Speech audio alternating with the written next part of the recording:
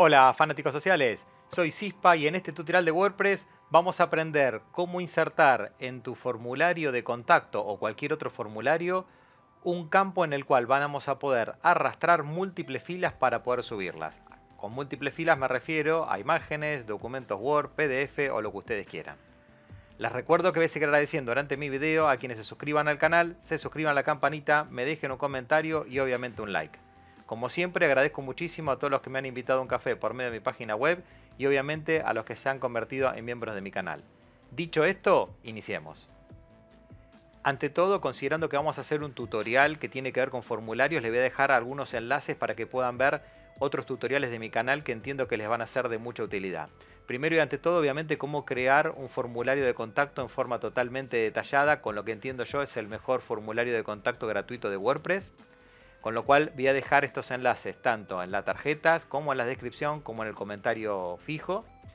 Por otra parte les voy a dejar otro enlace en las tarjetas para hacer campos condicionales. Esto es un formulario en donde según la selección que vaya haciendo nuestro visitante van a ir cambiando los siguientes campos y con lo cual vamos a poder hacer un filtro entre ellos. Por otra parte también voy a dejar en las tarjetas, comentarios, eh, y descripción un tutorial que tiene que ver con cómo crear un PDF a partir del el formulario que están completando. Es decir, yo completo un formulario que se genere un PDF que después lo podamos enviar o inclusive que lo puedan ver dentro de su sitio WordPress.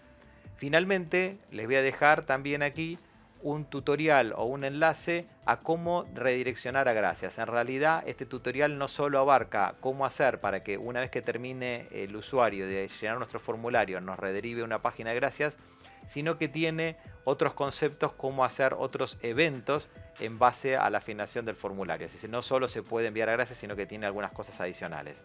Habiendo dicho esto, y lo hago porque entiendo que es la forma más fácil que ustedes sepan que hay otras prestaciones para ver y hay muchas más si entran en mi canal, en lo que sería la lista de reproducción formularios, vamos a ver el que vamos a utilizar en esta ocasión para generar ahora un campo con drag and drop, es decir, con arrastre de filas y encima filas múltiples.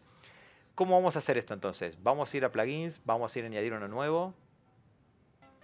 Una vez que están aquí, vamos a poner buscar drag and drop multiple files. Una vez que está ejecutado eso, vamos a ver el filtro. Este es el que vamos a utilizar. Fíjense que tiene 5 estrellas, está muy bien catalogado. Vamos a pulsar en instalar, como siempre digo, en solo unos segundos lo vamos a tener disponible para configurarlo. Ahí ya estaría listo. Vamos a activarlo y ahora sí va a estar totalmente disponible. Una vez que lo hagan, obviamente lo van a tener instalado, podrían acceder desde acá al seteo y también van a encontrarse que dentro de contacto vamos a tener un nuevo menú que es drag and drop upload. Así que vamos a ir aquí y vamos a ver las opciones que nos brinda para parametría. En primera instancia se nos indica si quiero hacer que los adjuntos se envíen como enlaces.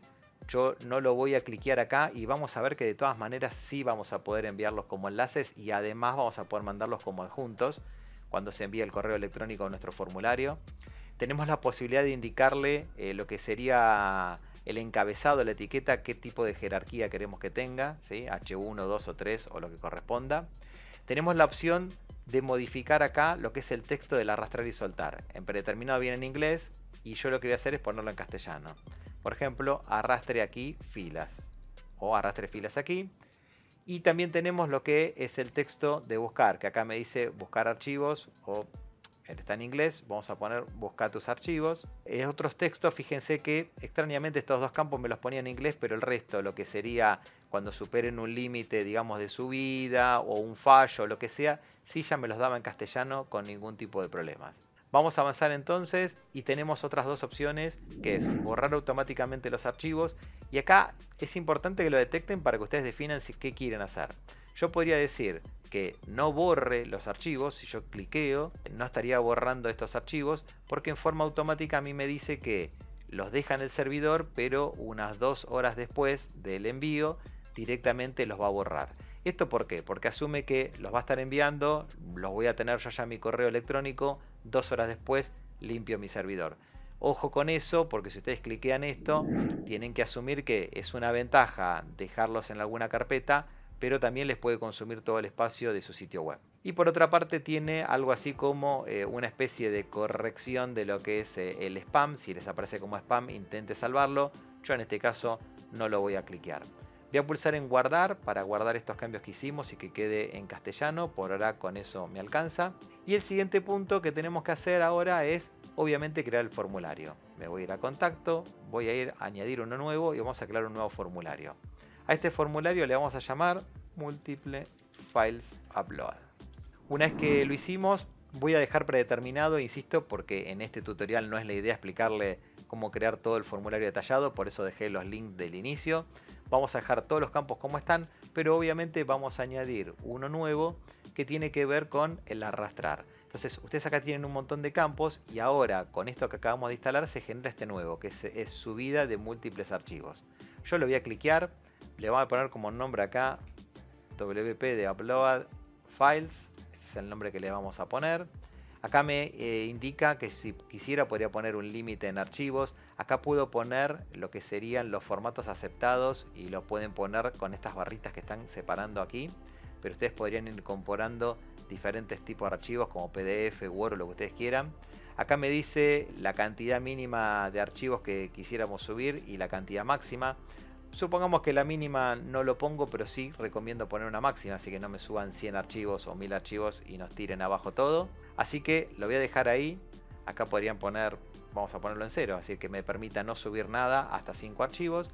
Y voy a pulsar en insertar. Con eso entonces me quedó lo que es mi casilla de subida de archivos directamente eh, puesto. Si quisieran ponerle un nombre a este campo, obviamente lo pueden hacer con un label, pero eh, está bastante intuitivo ya como está escrito simplemente que ahí yo puedo arrastrar archivos. Así que lo voy a dejar ahí como está, voy a pulsar en guardar por ahora y lo que vamos a hacer ahora es configurar obviamente la parte de correo electrónico para que se realice el envío. Antes de avanzar con esta parte, voy a dejar también aquí en las tarjetas, en los comentarios y en lo que sería la descripción de este video, un enlace a otro tutorial que siempre me consultan cuando me dicen el formulario no envía un email. Vean, voy a dejar un enlace al tutorial que les explica cómo enviar emails. En mi sitio hay varios de este estilo, con distintas características, les voy a dejar uno de estos. Vamos a poner entonces el para, así a qué mail yo quiero que llegue.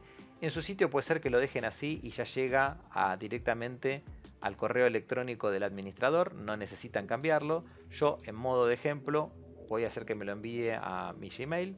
Y por otra parte, acá va a ser el formulario de, o el email de dónde va a salir. Lo mismo, puede ser que ustedes no necesiten cambiarlo, pero yo lo voy a adaptar a mi sitio para que sí me lo envíe desde contacto eh, Esto es uno de prueba, no es mi sitio estándar, por las dudas aviso. Y voy a hacer que me lo envíe a mi Gmail.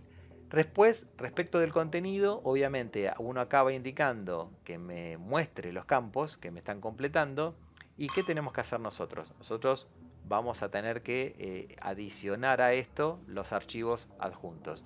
¿Cómo hacemos? Fíjense que acá arriba me está marcando que tengo disponible este campo, que es el que nosotros habíamos determinado. Si quieren le podemos poner acá adjuntos.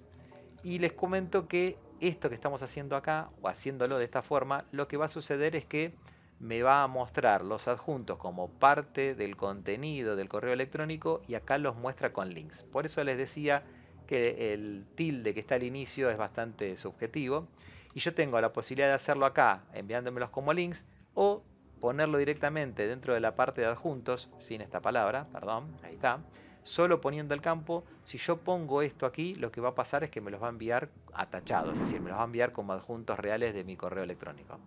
Una vez que hicimos esto, voy a pulsar en guardar. Y ahora sí, con nuestro formulario completamente guardado, lo que vamos a hacer es Primero copiarnos acá el shortcode y vamos a ir directamente a páginas y vamos a añadir una nueva. Por las dudas le voy a hacer una ventana nueva para dejarnos nuestro formulario ahí disponible. Vamos a poner acá de vuelta múltiple file upload. Y lo que vamos a hacer obviamente acá es insertar un shortcode. Claramente ustedes pueden darle el contenido que quieran. No es la idea acá ahora hacer una super página, sino simplemente mostrarles que el formulario funciona. Voy a pulsar en publicar, publicar nuevamente. Y lo que hacemos ahora entonces es mostrar la página con nuestro formulario. Si yo vengo aquí, voy a tener mi formulario, fíjense, con todos los campos e inclusive arrastrar aquí las filas, que como les decía, si ustedes quieren poner un mensaje con el tipo de filas, dependiendo de qué es lo que están haciendo, lo podrían haber hecho.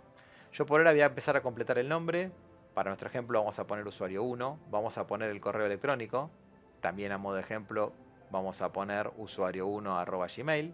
Voy a poner por otro lado un asunto, envío los archivos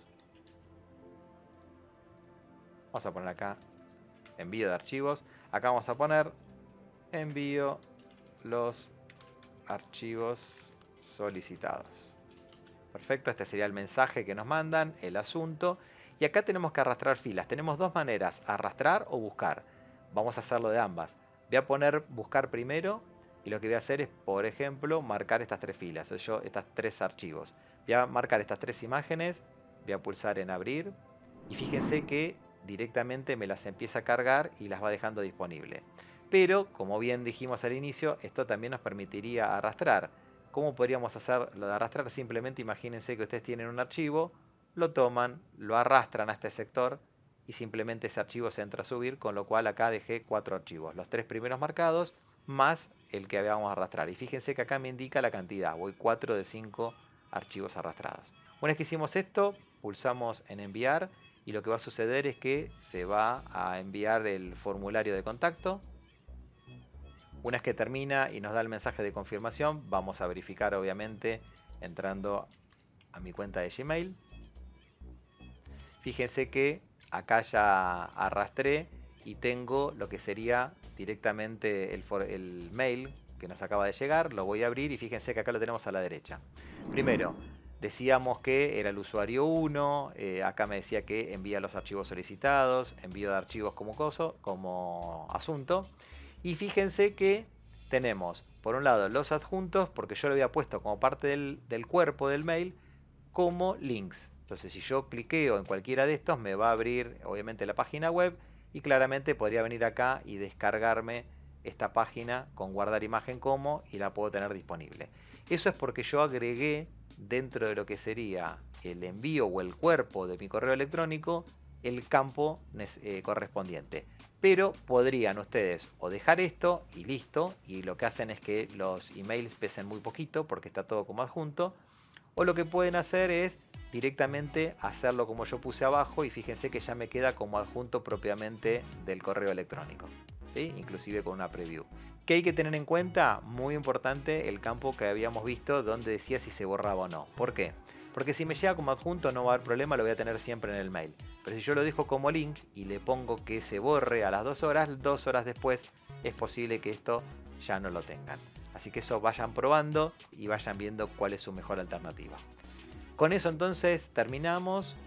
Espero que les haya gustado, que les haya sido utilidad, supongo que sí, por lo cual, como siempre digo, les pido, suscríbanse por favor al canal, suscríbanse a la campanita, para ustedes son solo unos segundos y a mí como generador de contenido me apoya muchísimo. También vuelvo a agradecer muchísimo a, a, las personas que me invitan a un café por medio de mi página web y obviamente a los que se convierten en miembros de mi canal. Los dejo acá sobre el final con el enlace al siguiente tutorial de la cadena WordPress y al tutorial anterior de esta misma cadena. Un abrazo enorme a todos los países que me siguen. Chao.